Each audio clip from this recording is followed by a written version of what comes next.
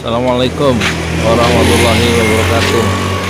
Saya mau ke lokasi di apa di ladang jagung dan akan mengevaluasi uh, tentang video-video saya tentang konten-konten yang sudah video itu sudah hari ini sudah mencapai 1072 uh, video dan saya merasa belum puas ya dengan pencapaian yang sudah mencapai 1072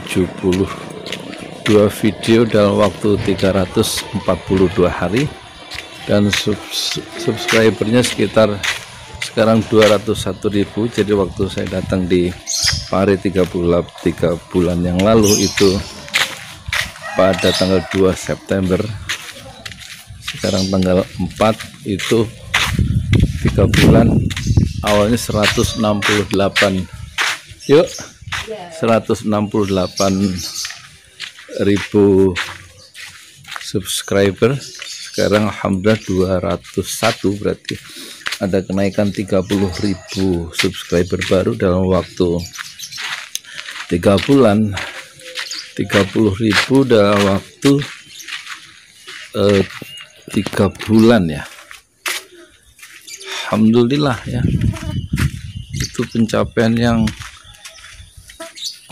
luar biasa perlu disyukuri sebagai itu pemula jadi satu bulan sekitar 10.000 ya subscriber baru selama di Pare ini. Tetapi dibanding youtuber pemula yang lain dengan pencapaian yang kurang dari satu tahun itu bisa mencapai 4 juta subscriber. Jadi belum apa-apa ya 200.000 dibanding 4 juta itu ya. 45 juta. Ya soal lagu sih. Maksud saya channelnya Angga Chandra itu kan hampir sama dengan saya itu. Kira-kira. Dia sudah mencapai hampir 5 juta subscriber ya. Semuanya tentang lagu ya. Dan tentang prank taksi online. Suatu yang mungkin tidak bisa saya ikuti tapi saya ingin cari cara baru dan cara baru itu tentu harus dicari secara kreatif ya. Um, yang hari ini hari apa ini? Hari Rabu ya tanggal 4 Desember mungkin saya harus evaluasi. Alhamdulillah saya sudah sampai di ladang jagung tadi dari jalan singgahan. Di jalan singgahan eh, jalan langkat ya. Uh, jadi 4 Desember 2019 itu harus dievaluasi dan saya tutup videonya dengan pembatasnya gitu kira dengan video yang ke 1073 saya upload ya uh, video tentang Abdurrahman Jamil Alusi ya Imam Masjidil Haram yang memimpin sholat berjamaah waktu dia kunjungan ke kota Malang ya 2017 dan sudah saya apa saya upload dan saya muat nanti sebagai pembatas antara video-video lama saya yang 1072 dengan mungkin jalan baru video video dengan corak baru setelah Abdurrahman Jamil Alusi membacakan surat Al-Fatihah dan uh, surat Abasa Watawala surat ketiga dari juz ke-30 ya setelah Abasa ya setelah An-Naba, an dan kemudian Abasa Watawala. Itu ada potongan ayat yang sungguh menggetarkan A'udzubillahi minasyaitonir. Bismillahirrahmanirrahim. Sakhah يوم يفر المرء من أخيه وأمه وأبيه وصاحبته وبنيه لكل امرئ منهم يومئذ شأن يغنيه. وجوه يومئذ مسفرة ضاحكة مستبشرة. ووجوه يومئذ عليها غبرة ترهقها قطرة ulaika humul kafaratu fajarah jadi ketika hari kebangkitan ya itu terjadi manusia setelah sang salakala pertama kan hancur alam semesta dan kemudian ditiupkan sang sakala yang kedua maka manusia dibangkitkan lagi yauma yafirul mar'u min akhi wa ummihi wa abi. Pada hari itu ya setiap manusia itu lari dari saudaranya. Lari manusia itu dari ibunya dari uminya dari emaknya dan lari juga dari bapaknya. Semua lari untuk menyelamatkan diri sendiri menghadapi bahaya akhirat yang besar itu. Ini ya uh, apa berita gaib yang sangat menggetarkan ya tentang bahaya akhirat sehingga orang itu lari dari orang-orang yang dia cintai sendiri. Suami lari dari istrinya istri lari dari suaminya ya. Semua anak lari dari bapak dari orang tuanya. Orang tua lari menyelamatkan diri dari anak-anaknya dan semua hanya bisa bergantung kepada Allah kalau menghadapi bahaya akhirat itu. Itulah kira-kira isi surat Abasa ya yang menjadi pembatas dari video 100 1073 itu saya mungkin tidak akan bicara politik lagi seperti semula ya. Politik mungkin saya akan hmm, bicara tentang dakwah kemudian bicara tentang pendidikan kemudian bicara tentang ekonomi syariah. Jadi kita coba untuk meninggalkan politik sama sekali ya. Mulai hari ini. Dan mungkin kita akan fokus pada tiga bidang itu yaitu dakwah kemudian ekonomi syariah dan pendidikan ya. pendidikan itu bagian dakwah. Atau pendidikan atau dakwah bagian dari pendidikan ya. Dan mungkin saya tidak akan bicara istilah pendidikan subsistem atau bagian dari sistem politik. Nah, nanti masuk politik lagi ya. Jadi moga-moga ini satu e, cara pandang baru satu pendekatan baru untuk mengembangkan, mengembangkan channel YouTube pesantren Ojo Lali yang satu perlu disyukuri sudah mencapai e, sekitar viewersnya itu e, 22 juta sudah ditonton oleh sedikitnya 22 juta penonton. Alhamdulillah jazakumullah khairan kathiran ya kepada semua penonton di lima benua yang sudah menyaksikan semua tayangan-tayangan saya sejak 24 Desember hari Rabu ya. 24 Desember hari Rabu 2018 dan sekarang 4 Desember ya. 2019 hari ke-342 insya Allah dan mohon maaf ya atas segala kekeliruan segala dosa-dosa yang melukai yang melukai sehingga menimbulkan dosa-dosa yang saya buat lewat ucapan-ucapan dan komentar-komentar atau melalui respon-respon respon intelektual saya terhadap satu peristiwa politik kemarin dan peristiwa-peristiwa yang lain.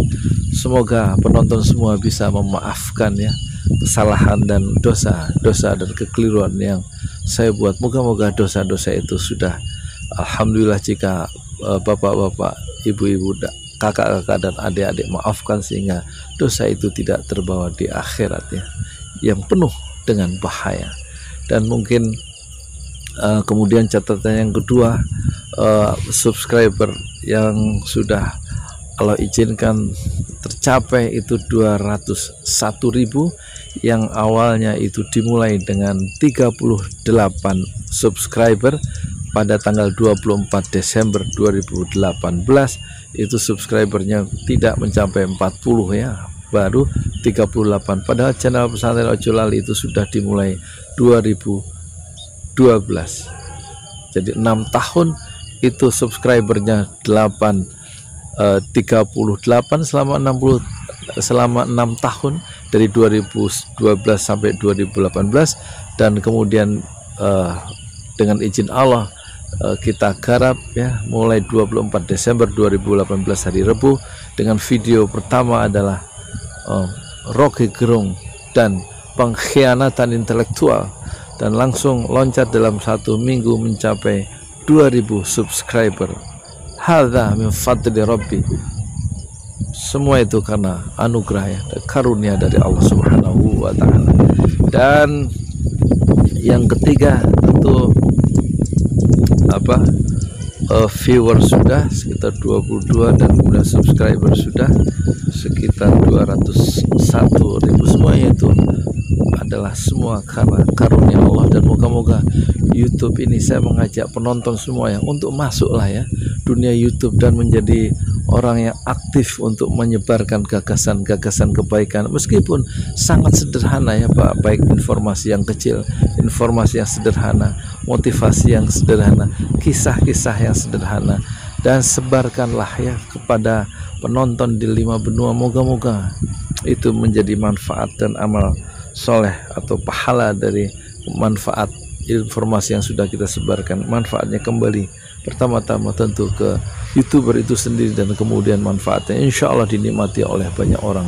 Di lima benua. Insya Allah oleh karena itu saya mengajak sekali lagi kepada para penonton masuklah ya ke dunia yang tidak pernah dititipkan oleh Allah kepada manusia abad ke-7 yaitu YouTube ini tidak dititipkan oleh Allah kepada Rasulullah Sallallahu Alaihi Wasallam. Dan tidak dititipkan ya YouTube ini dunia YouTube ini teknologi YouTube ini kepada para sahabat Nabi dan juga tidak dititipkan oleh Allah kepada manusia abad 8, 9, 10, 11, 12, 13, 14, 15, 16, 17, 18, 19, 20 YouTube ini hanya Allah titipkan khusus kepada manusia modern di abad 21. Oleh karena itu, sebagai umat Islam Indonesia atau umat Islam di seluruh dunia hendaklah memakai teknologi YouTube yang sudah Allah siapkan ini untuk membangkitkan kembali motivasi beragama untuk membangkitkan kembali keyakinan terhadap Allah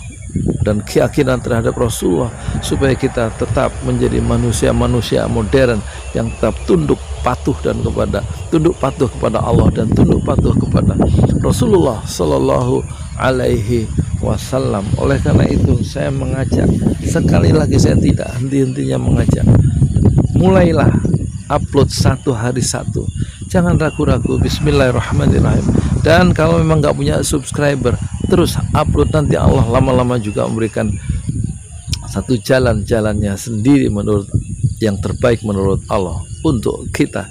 Ada kawan saya, Pak Kusnun Jola. Selamat berjumpa Pak Kusnun Jola. Itu angkatan kedua waktu kami melakukan training-training awal ya di pesantren Ojolali. Bagaimana menjadi youtuber berbasis Kolbun Salim. Pak Kusnun Jola itu angkatan kedua ya. Bersama istrinya naik motor dari Bandung ke Parung. Alangkah jauhnya 180 km pulang pergi. Jadi 360 km naik motor berdua. Suami istri hanya untuk belajar menjadi seorang youtuber. Ya. Pak Kusnun Jola itu sekarang videonya sudah berapa ratus ya? Mungkin hampir 300 400 dan ya hampir setahun juga. Tapi masih berjuang ya. Subscribernya sebentar lagi. Insya Allah menembus angka seribu ya. Seribu subscriber hampir satu tahun. Tapi daya tahan dari Pak Muslim Jola saya perhatikan luar biasa. Dia terus mengupload ya sepanjang tahun ya. Sejak hampir satu tahun itu sejak awal Januari sekarang sudah hampir selesai. Tahun ini sebentar lagi Pak Muslim Jola mencapai angka satu tahun. Dan subscribernya itu belum seribu ya. Padahal syarat untuk dimonetize oleh Google AdSense itu seribu. Seribu apa seribu subscriber Pak Kusum Mencola terus berjuang ya mencapai angka seribu dan watch time 4000 jam tayang. Dan saya sangat ya inilah motivator agung ya abad ke-21 Pak Kusnun Jola ya sebagai youtuber pemula dan dia tidak patah di tengah. Sayap kiri kanannya terus ya mengepak setiap hari dan dia tidak ingin sayap-sayap cita-citanya menjadi seorang youtuber. Kolbun Salim itu patah di tengah dan dia terus ya dengan caranya yang khas. Dia mengupload YouTube-nya dan dia edit sendiri. Dia beri opening sendiri dia kasih musik sendiri. Dia mengambil gambar-gambarnya sendiri mungkin juga bersama istrinya. Subhanallah maha suci Allah ya. Allah memberikan satu contoh ya, teladan bagaimana seorang youtuber pemula tidak pernah patah di tengah. Meskipun belum mencapai yang dicita-citakan tapi setidak-tidaknya Pak Kusnul Jola sudah sangat berjasa mengabadikan sudut-sudut kota Bandung dan Tanah Periangan dalam video-videonya yang sangat menarik yang saya tidak mungkin bisa melakukan hal yang sama ya karena itu berangkat dari passion dari semangat besar dari lubuk hati yang paling dalam dari Pak Kusnul Jola sendiri. Padahal Pak Kusnul Jola itu usianya hampir sama dengan saya mungkin 55 ya. Ya beda tiga tahun saya 58 jadi saya diam-diam Pak Kusnul Jola tidak sadari saya mengamati dari hari ke hari setiap video. Meskipun tidak saya komentari saya perhatikan ya. Saya tidak ingin dikesankan apa mengikuti dia terus makanya tidak selalu saya komentari tapi selalu saya ikuti. Saya klik saya oh, apa namanya? Saya buka ya dari awal sampai akhir ya. Dia pakai konsep mini kata. Kabar-kabar yang lebih banyak bicara tentang seluk beluk kota Bandung. Subhanallah. Inilah satu profil ya seorang apa? Youtuber pemula yang pantang menyerah ya tidak pernah mundur ke belakang. Dia maju terus ya. Bersama waktu bersama angin dan bersama sungai yang selalu mengalir ke samudra kebebasan dan samudra kreativitas. Itulah Kusnun Jola dari Bandung youtuber Kolbun Salim angkatan kedua. Begitu dia melakukan positioning ya. Youtuber Kolbun Salim angkatan kedua. Ya memang saya trainingnya ya trainernya dan itu beliau belajar di pesantren Ojolali bersama beberapa temannya. Yang teman-temannya entah hilang ke mana dihisap ya. Pusaran angin yang kemudian tidak memunculkan mereka hilang ya, dalam hembusan angin utara yang lain. Tapi Pak Kusnul tetap eksis tetap bertahan di dalam cita-cita besarnya sebagai youtuber Kolbun Salim angkatan kedua. Subhanallah. Saya banyak belajar ya terhadap daya tahan endurance endurance semangat bergelora dari Pak Kusnun Jola sebagai youtuber pemula. Sebagaimana saya juga youtuber pemula. Saya menjadi youtuber pemula karena saya kemudian melihat manfaatnya bisa diakses dilihat video kita di lima benua di Darwin di Los Angeles di Mekah Madinah kemudian di Senegal di seluruh kota-kota di Indonesia di Hong Kong Taiwan Korea dan kota-kota yang lain. Sehingga kemudian saya memutuskan meskipun saya baru punya pengalaman 10 video dan dua minggu jadi youtuber saya langsung bikin pelatihan angkatan pertama ya empat orang atau lima orang dan kemudian angkatan kedua sekitar empat orang termasuk Pak Kusnul Jola karena manfaatnya sangat besar sebagai alat dakwah dan alat pengembangan diri sendiri dan juga alat untuk menyebarkan informasi yang manfaat dan juga semangat hidup supaya lebih yakin terhadap Allah dan lebih gembira menghadapi hari ini dan menghadapi masa depan dengan penuh keimanan dan dengan penuh yang semang dengan penuh semangat yang besar. Oleh karena itu saya kembali mengajaknya, belajarlah ke saya. Saya ada di Pare, kampung Inggris sekarang. Siapa yang mau belajar, datanglah ya hari Ahad dan hari Sabtu saya libur kursus ya. Silakan datang ya di Masjid Al Jihad kita bisa ketemu atau bisa kita berjumpa di mana. Saya sudah tiga atau empat masjid yang saya tempat saya sharing ilmu di Masjid Al Itqon di Kampung Pari ini ya. Kemudian di Masjid Al Jihad di Masjid uh, Mustaqim kemudian di masjid mana lagi. Dan banyak juga yang sudah datang dari Solo dari Mojokerto dari Malang dari Sidoarjo yang belajar ya. Silahkan belajar. Ayo kita sama-sama berkembang bersama menuju ridho ilahi dan jadilah kita youtuber yang selalu taat kepada Allah dan Rasulullah Shallallahu Alaihi Wasallam. Selamat datang untuk belajar bersama Yudi Pramuko, tukang donat dari Parung. Youtuber tertua di semesta. Nah itu positioning positioning saya Saya Yudi Pramuko, tukang donat dari Parung, youtuber tertua di semesta. Assalamualaikum warahmatullahi wabarakatuh. Fasbir, sabrang jamila. Bersabarlah dengan kesabaran yang indah. Tuhan di dunia dan Tuhan di akhirat adalah satu, yaitu Allah Subhanahu wa taala. Ya Rob, lindungilah kami, Engkaulah pelindung kami dalam kehidupan dunia dan Engkaulah pelindung kami dalam kehidupan akhirat. Assalamualaikum warahmatullahi wabarakatuh.